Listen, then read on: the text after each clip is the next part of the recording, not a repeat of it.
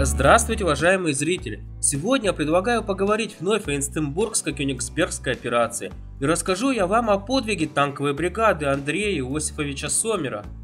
Так, 17 января 1945 года, на четвертый день операции, упомянутой выше, 89-й танковой бригаде предстояло наступать в Восточной Пруссии.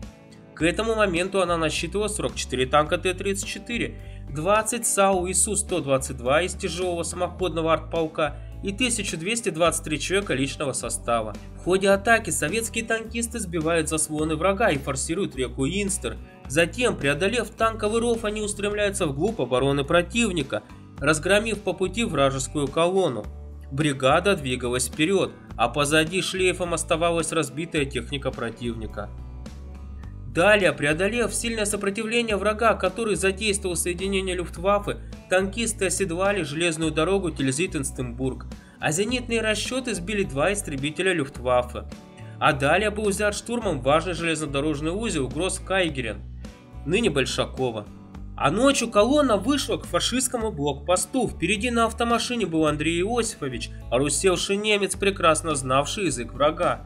Немцам на посту он представился генералом вермахта, возглавляющим танковую колонну, которая терялась в темноте и противник ее не мог разглядеть.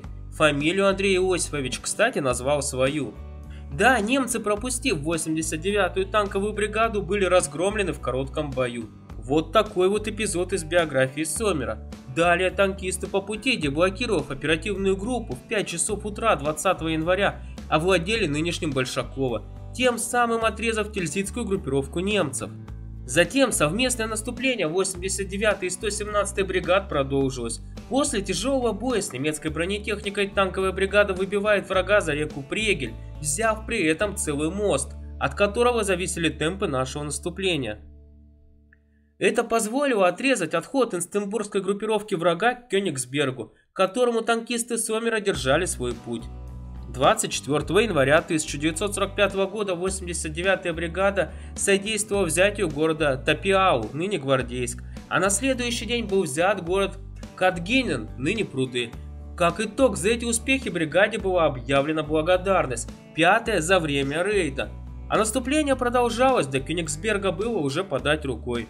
Так, танкисты, встретив мощное сопротивление противника, участвовали в штурме Меттенгена, а затем 29 января ими был взят Зингунд, ныне Чкаловск, район Калининграда.